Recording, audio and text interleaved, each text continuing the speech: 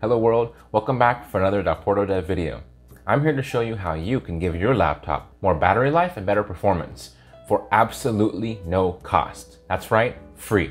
So I just started making tech videos about two weeks ago. Even after posting just three or four videos on laptops, I can already see the top two concerns from my viewers, thermals, how hot does a laptop get, and battery life. So today, I'm showing you something that can address both of those concerns on any laptop, and that is undervolting. So it doesn't matter what laptop brand you have, MSI, Asus, Razer, Dell, this trick will work for you as long as you're running an Intel laptop. This is something that you can accomplish in about 20 minutes. All you need to do is download a free tool by Intel called Intel XTU and you're in business. I want to give a quick disclaimer.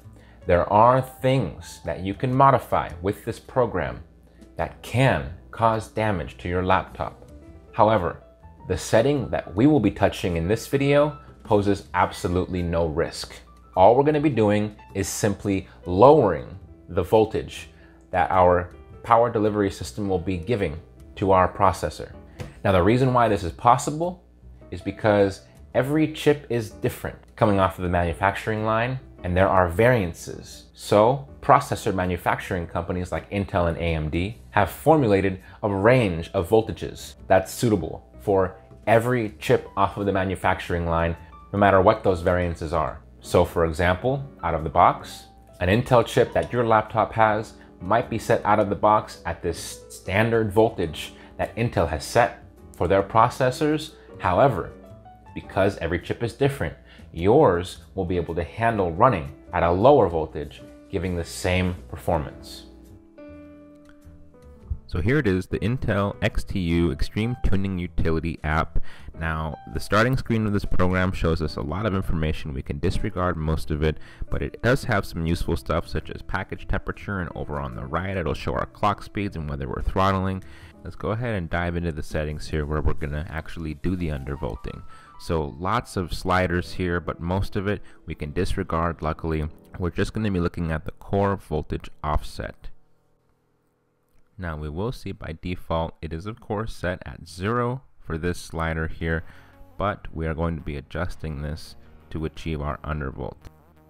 One thing we're going to be wanting to make sure we do along the whole entire way is stress testing.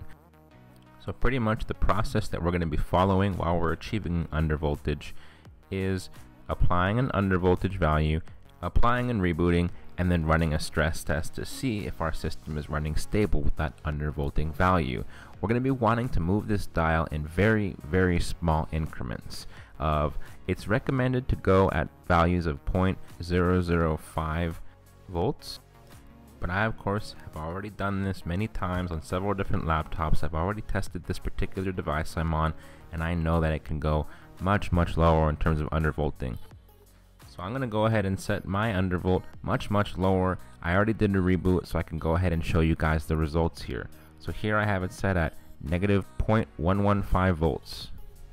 There are people that manage to get much lower undervolts, but past this point is about where I started to see some instability with my laptop, which will usually manifest itself in a system freeze or a blue screen of death from Windows, but these stress tests that we're running are how we detect that instability. There is no danger or harm from undervolting. Once your system freezes, if you reach that limit from undervolting, when it reboots, Intel XTU automatically reverts to default undervoltage values of zero, and then you can just restart the process from a less extreme undervolt.